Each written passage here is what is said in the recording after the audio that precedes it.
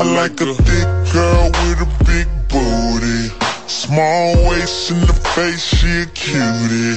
I like skinny girls with them A cups. Long legs with the little bitty butts. Yeah, I like a